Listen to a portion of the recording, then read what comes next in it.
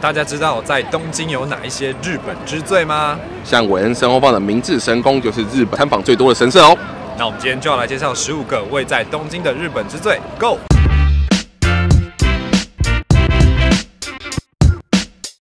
这里是 Sky Tree，日本最高的铁塔。这里是日本最古老的百货公司三月百货日本桥店。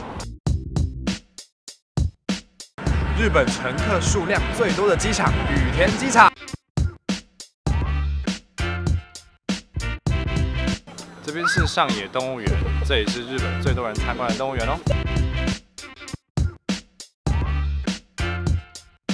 日本客房数最多的饭店川王子饭店。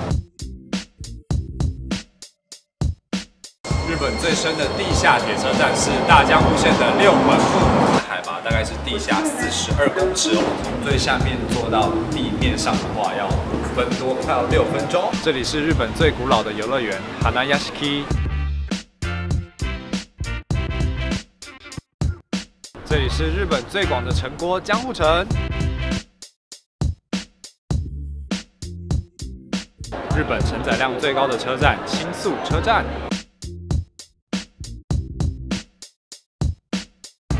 这里是日本参拜人数最多的神社明治神宫。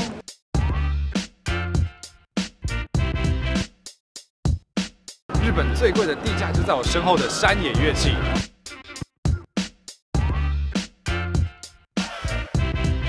日本最古老的单轨电车 Tokyo Monorail。是日本最多人的十字路口涩谷。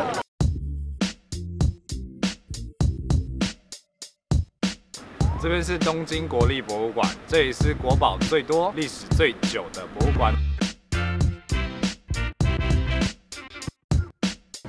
这里是日本最大、年度参观人数最多的美术馆——国立新美术馆。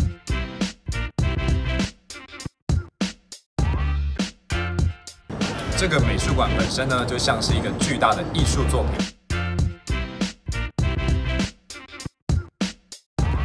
以上就是这次介绍的十五个位在东京的日本之最。